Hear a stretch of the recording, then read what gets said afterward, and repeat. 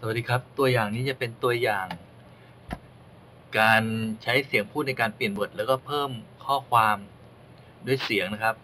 เราจะเพิ่มข้อความเข้าไปด้วยคำสั่งเพิ่มข้อความใน Word นะครับ โอเคครับ เรามาดูกันครับว่าทำยังไงนะฮะ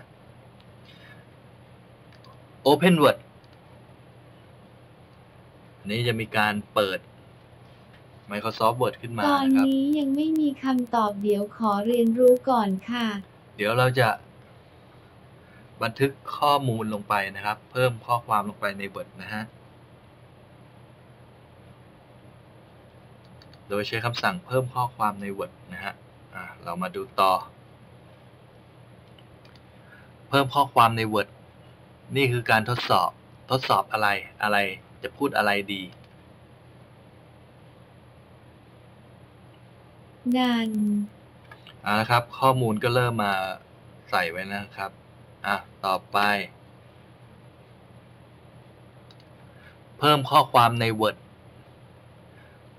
อะไรอะไรอะไร อันนี้คืออะไร สิ่งใดๆล้วนอนิจจัง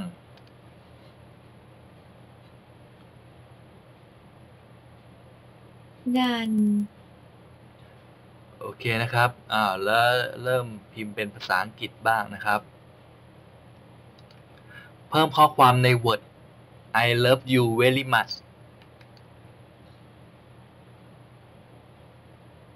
ดัน โอเคนะครับ อ่า เราก็มาดูนะครับ อันนี้คือการทดสอบ นะฮะ อ่า เสร็จสิ้นแล้วนี่คือตัวอย่างการเขียนโปรแกรม AI นะครับ อย่างง่าย ๆที่ เรียก Microsoft Word แล้วก็พิมพ์ข้อความลงไปใน Word นะครับ ด้วยเสียงพูด